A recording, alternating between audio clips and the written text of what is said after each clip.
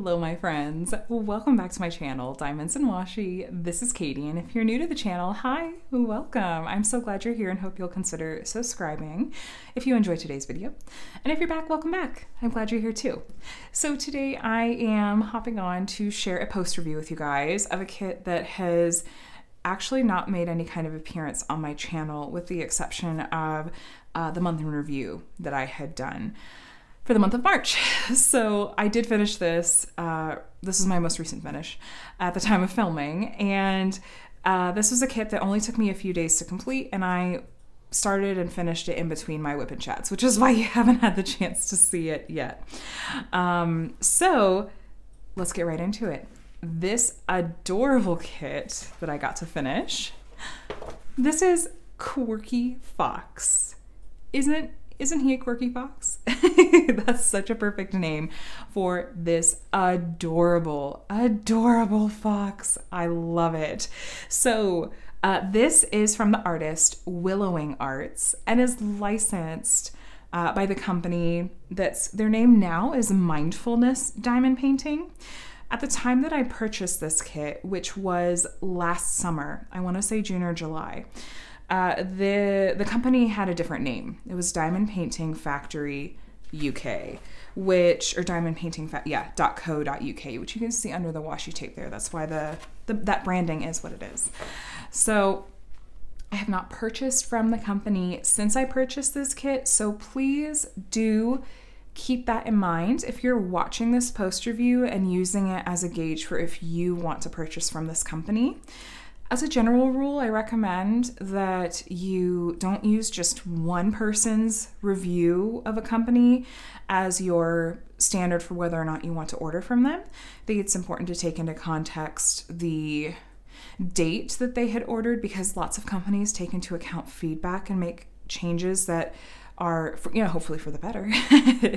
um, and it's also important just to hear different people's experiences uh, because people can have really different experiences and opinions from a company. So I do just want to give that caveat up front because, like I said, I don't want to be misleading anyone because not only did I purchase this kit almost a year ago, I mean, nine months ago, um, this kit isn't even listed on the website any longer to purchase. There's several other really beautiful pieces from this same artist that I really would love to check out. Um, but just to give you a heads up, this particular piece is not on the website. I don't know, maybe they'll be bringing it back. Um, I'd be really, really curious to see what kinds of changes they've made besides just their name. So let's get into more about this kit. So uh, this is 40 by 50 centimeters, which is kind of snack sizey for me at least.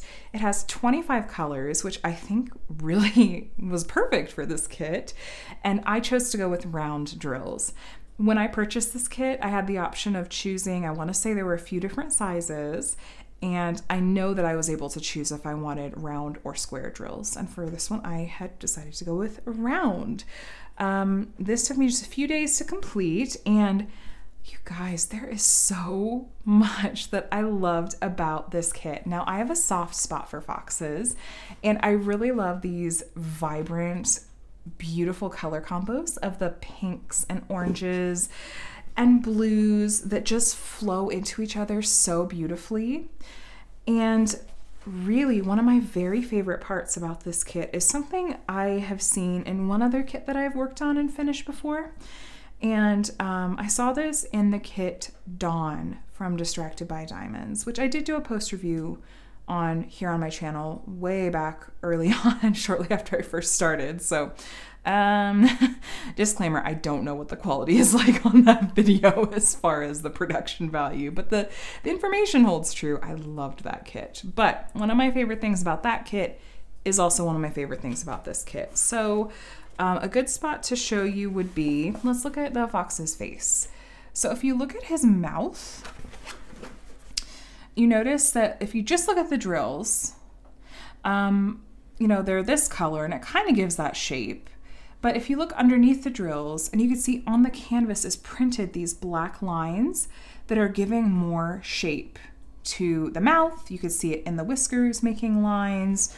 You can see it in the crown up here with making those straight lines.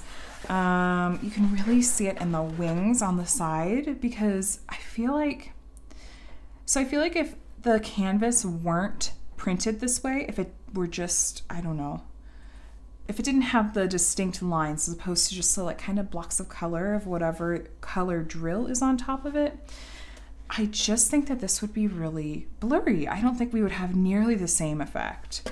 So the end, the finished effect of that is we get so much more detail and so much more nuance than we would if that weren't there. Or frankly, if this were a square drill kit.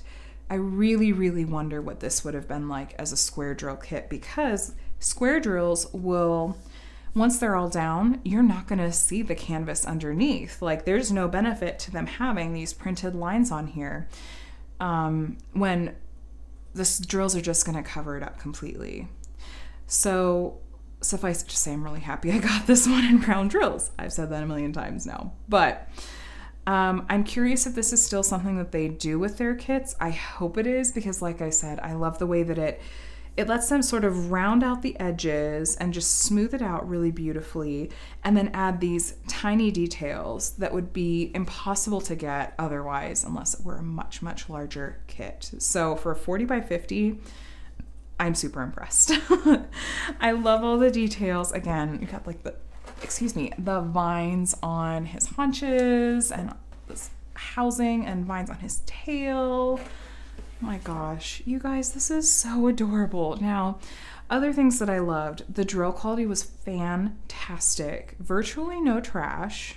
Um, the occasional drill with like a little hole on top that happens sometimes in production. There were plenty, plenty enough for me to finish. I love the vibrant colors overall, and I love that this company is licensing their artwork from artists. Um, there were a couple of symbols on here that were a little bit similar to one another, but not at all too difficult to distinguish between. I think there were a couple of like dark blues. Let's let me check here. Yeah, they were just slightly similar. There was a um, here we go. I don't know if it's really going to show up in camera there was this dark E and then the lowercase d and then this lowercase e. So these two here and then that one up there. Just a little similar, but it wasn't hard. it wasn't hard to make out. Basically that dark E was just looked like a bunch of really dark blue, but then the other two symbols were really easy to distinguish. So I hope that they're using the same sort of printing process and, you know, rendering software because I think that worked really well for this kit. Um, so, what are my kind of final thoughts and overall sort of impressions? I really, really badly want to try this company again. Um, I'm going to try to do some digging myself. I'd love to find some recent reviews um, from people that have purchased from them recently. I'd love to see unboxings and some post reviews as well to see how they turn out.